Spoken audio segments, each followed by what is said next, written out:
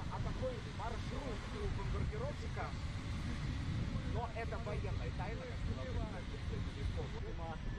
э, бомбардировщик выйдет на стартовую позицию. Я все правильно говорю?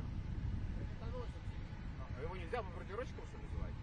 Мы лет 15 назад переоборудовали полностью под ракету, убрав все бомболюки. Поэтому корректнее было бы... Хорошо, ракетоносец. Да. Он сейчас что, повернет?